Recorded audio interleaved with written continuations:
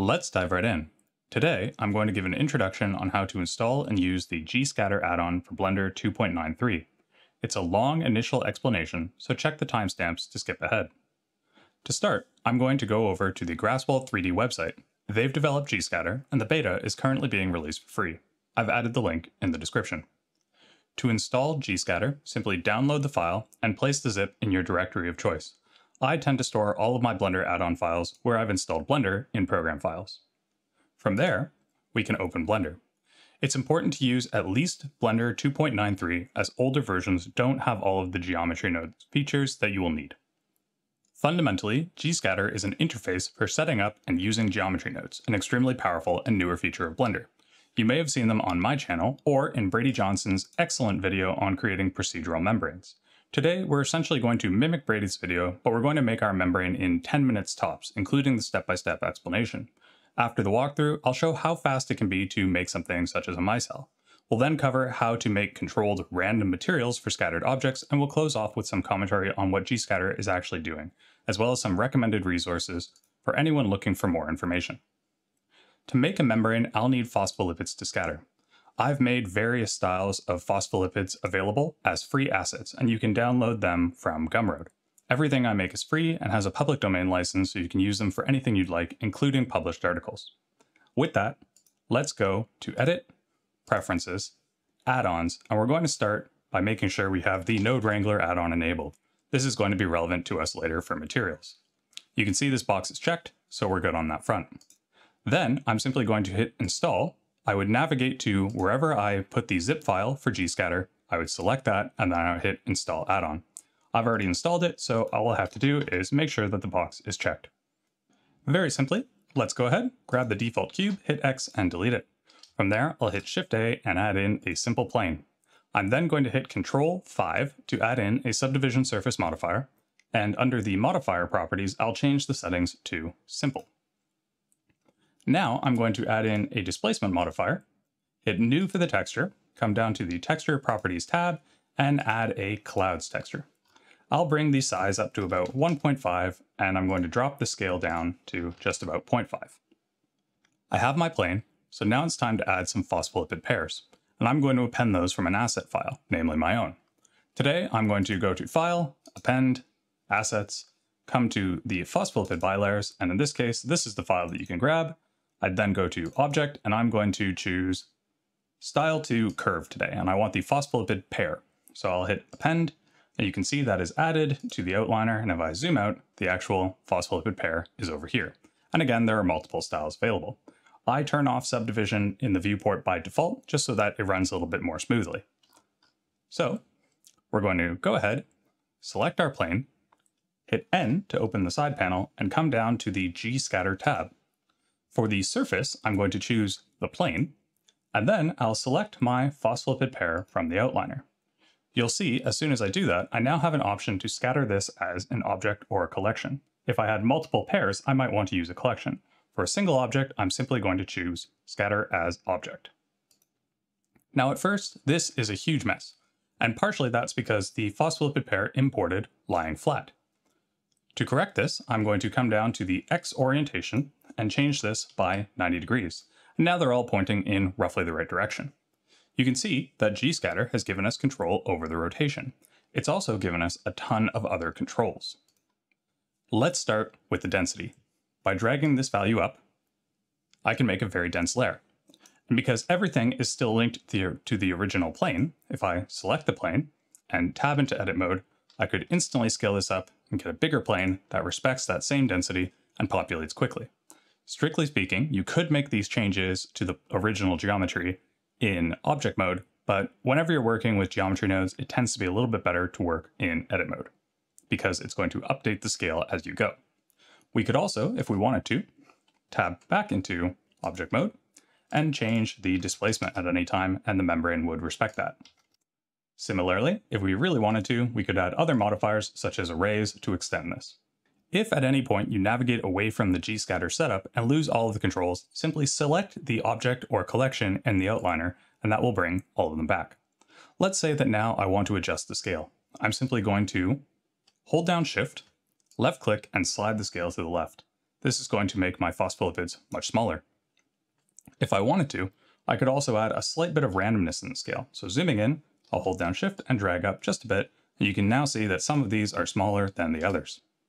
To compensate for the density change, I'll bring this value up again, just a little bit. And for most phospholipid bilayers, I find that I want to uncheck the follow terrain normals. So now everything is lining up straight.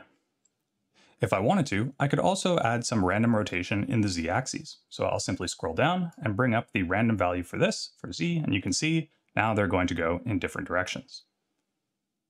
Let's say I don't want my phospholipids to intersect each other, which you can see going on in various places here. Then all I would have to do under density is check the box for limit intersections, again hold down shift and left click, and just bring up the minimum distance separation until they're no longer touching. Then I can bring the density back up, and this will populate the whole film densely but without intersecting. As an extra bonus, I can instantly explore different versions of the position, scale, or rotation using the seed values. And really, it is that simple. In minutes, we made a phospholipid bilayer, and we still have tons of control over the final product. Let's say I want to scatter some proteins on or in this bilayer. In that case, I would simply add a new object, namely a protein, and then or a collection of proteins, and then I could scatter them using the same approach. There are a few things worth noting here though. The first is that gscatter is using the origin of the object that it is scattering. That can make it difficult to scatter objects on the surface, since right now the object origin for the phospholipid is right in the center. If we want to change that, we can do so very easily by simply selecting our phospholipid, tabbing into edit mode, hitting A to select everything, and then hitting G and Y to move it, such that the object origin, this little yellow dot, is actually just sitting at the top of the phospholipid. So now you can see the effect is that everything has moved underneath this plane. Another worthwhile thing to note here is that I don't want this plane to actually appear in the final render, so I'm going to make sure to uncheck both the camera and the eye. So now it's no longer visible in the viewport, but I can still make any changes that I'd like to. In fact, if I want to go ahead and demonstrate the scattering of an object now, I can simply hit Shift-A, add in, let's say, the default cube, move that off to the side, and now I'll choose to scatter this as an object. Again, you can see I've got all kinds of separate controls from the phospholipids, so I'll bring the density down quite substantially, I'll lower the scale, add in some randomness.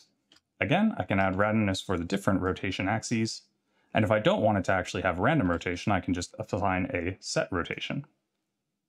Finally, of course, I can oscillate through different various positions, and I can increase the density if I want to. And you can imagine that this cube would make a perfectly good substitute for something like a protein or a collection of proteins. For now, I'm going to delete this so that no longer appears in our system, and again, we'll also delete the default cube. One more worthwhile point here is that there are options for vertex masks that we haven't discussed. To make this membrane, I used roughly the same approach as Brady's video because it offers a lot of flexibility and lets you control fewer verts. What I mean by that is I can simply show my original plane, tab into edit mode, and because of the subdivision surface modifier, I'm getting a lot of geometry, but I only have four verts to move. So if I wanted to, I could grab this and move it out, and I'd have tons of different options and control with minimal geometry to work with. However, Gscatter gives you an interesting feature in terms of customizability. And to do that, I need a little bit more subdivision. So I'm going to actually apply this subdivision surface modifier with Control A. And now if I tab in, you can see I've got a bunch of extra geometry. Once that's done, I can click on my phospholipids and using this vertex mask feature, if I click this, I've now entered weight painting mode. And what that is going to let me do is essentially paint on the areas where I want the phospholipids to appear. So you can see I can very, very, very quickly make custom patterns of where I want these actual objects to scatter. And for the phospholipids, you might want a continuous film. But if you only want certain proteins in a different collection to appear, say here or there, that would be a very good opportunity to make use of this tool. To finish, simply click the brush again. I'll once again hide the plane, and you can see we now have a custom distribution of these phospholipids. With all that in hand, I'm going to demonstrate very quickly how you can use this to make a micelle. Starting off in a new scene in Blender, we're going to make a micelle in probably just under a minute. I'm going to go ahead, delete the default cube, come to File, Append, add in my phospholipid pair once again. With Shift A, I'll add in a UV sphere, hit N for the side panel, come to G-scatter, choose the sphere as my surface, and from my outliner, grab the fossil phospholipid pair, scatter it as an object. I'll rotate that 90 degrees in the X direction, grab the UV sphere, tab into edit mode, and scale up. Then I can come back to the outliner, increase the density quite substantially. Because I already have geometry, I can simply click for the vertex mask, and rather than try and paint on the custom sphere, as soon as I click this button, I created a custom vertex group. So I'll unclick this now, come into a side view, hit Tab once I have my sphere selected, Z for wireframe, and then select all of the bottom points and assign these verts. We come back to solid view now, and again, we can simply hide our sphere in both the viewport and the render. We'll adjust the scale of the phospholipids just a little bit, limit the intersection so that nothing intersects, and bring the density up substantially. Once again, we can rotate randomly in the z-axis so we have a little bit of variation, and just like that, very quickly, we created a micelle. If we wanted a little bit of extra geometry to make sure we have no patchy sections, all we would have to do is grab our original UV sphere and add a subdivision surface modifier, let's say of 2. We'll hide that again, and you can see this is now very densely packed. Again, I think I'll bring the limit intersections up just a little bit, and then increase the density once more. So very simply, a customizable micelle in literally minutes. Up until this point, we've been working entirely in either solid view or wireframe. My phospholipid models come with built-in materials, and if we hit Z and come into material preview, or Z and come into rendered view, you can see that they're already randomized and adjusted. When you're working with any kind of distributed particle, it may be worth your while to have something that is a controlled random material. That is to say that you're going to assign something different to each individual instance of this phospholipid, but you want it to be a little bit different every time, and you want to control that difference. So to demonstrate how you do that, I'm going to remove this material and very simply create a new one. We'll open a new window, change to the shader editor, hit N to close the side panel here, and I'm going to do this in Material Preview. So I'll grab my phospholipid, because that is where I need to assign the material. I'll hit New, and this is, very simply, the default material. As with any other material, we could assign something like a very specific color. We could make it metallic, or shiny, matte, entirely transmissive if we really wanted to. There are tons of different material options. For now, I'm going to stick with a generic material, no metal, no transmission, and 0.5 roughness to start. Let's assume though that I don't want every single one of these to be the same color. We can add a little bit of randomness here. To start, I'm going to move over a bit, hit Shift A, and add in an input object info. Once I've done this, I'm going to go ahead and again with Shift A, add in a texture, white noise. I'll plug the location into the vector, and I'm going to change the type from 3D to 4D. You can also use the random output here, but the white noise W value is essentially going to act as a seed, so we could change things up if we wanted to. So if we go ahead and make sure that we have Node Wrangler enabled, so again, Edit, Preferences, Add-ons, and Node Wrangler, then I can simply select this white noise, hit Control Shift left click, and see that every single phospholipid here is being assigned a value between black or zero and white or one. If we drag the W value, that number changes. And we're going to use this to control all kinds of different things, but primarily our colors. So right in front of the principled BSDF, which I'll reconnect, we're going to hit Shift A and add in a color hue saturation value. I'll hover over my color here, hit Control C to copy, and Control V to paste. So I can now plug this in, and I can use all kinds of little toggles here to control or adjust this value. If I wanted to, I could adjust the hue, saturation, or the value to control any aspect of these colors. So I'll reset all of those to default. And right now what I'm going to do is use this little random setup of values between 0 and 1 to control aspects of the hue, saturation, and value. The way I'm going to do that, though, is to modify the value first. I may not want to go entirely between 0 and 1. For instance, very small changes in hue can have very dramatic changes in the color. So I'd like to constrain that range. To do that very easily, we're going to hit Shift A, come to Converter, add in a map range node. We'll plug the value into the value, and then we'll change the range. So instead of going from 0 to 1, we're going to have it go from 0.45 to 0.55. We'll add this result straight into the hue. And now you can see each of these has a slightly different hue. If we wanted to, we could also grab this node, hit Shift-D to duplicate it, plug the value in here, and again, we could set a custom range for, say, the saturation. I'd like the saturation to be quite high, between 0.8 and 1. So we'll go ahead, plug that into the saturation, and now some of these are slightly desaturated compared to others. Because we're outputting these 0 to 1 or black to white values, we could also control all kinds of other things by making some of these metallic or shinier through roughness or fully transmissive or not. Similarly, we could control different aspects such as how much subsurface scattering each of these have. So if I wanted to go ahead and change quickly to the cycles render engine, you can see we've got a bit of a different look here. And if I bring the subsurface value up, now the light is actually going to sort of move through this a little bit. And I tend to use this for biological looks. In any event, this type of random material is very useful for when you're working with scattering large numbers of objects because it can add some variety.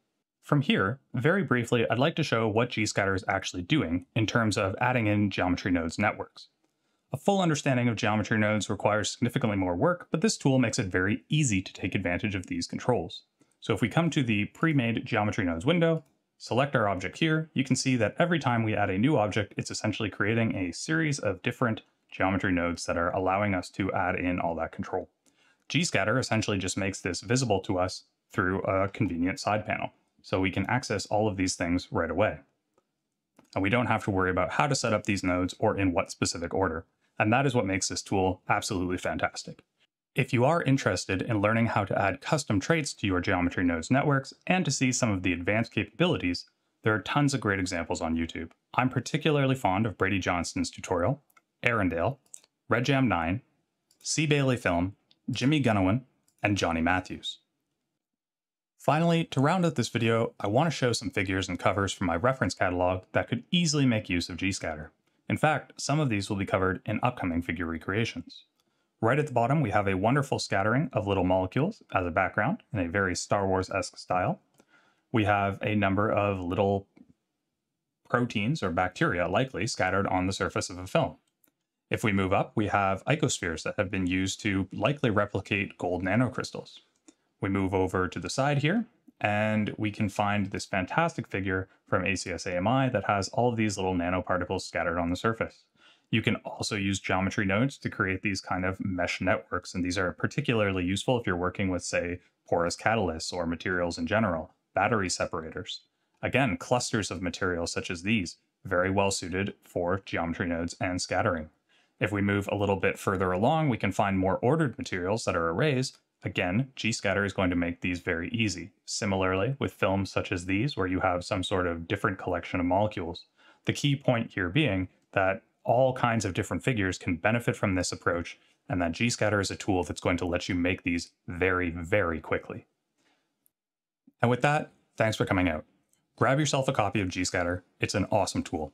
Expect more scattering and GeoNodes for scientific subjects in the future. If you found this video helpful or informative, consider subscribing and sharing it with your friends and colleagues, or checking out my Patreon. Many thanks to my current supporters on Patreon who help make these videos possible. If you'd like to make use of some of the high-quality, public domain free scientific assets that I've made, they'll be available at links in the description, or you can find them through my website, cgfigures.ca. And with that, as always, I hope you have a great old day.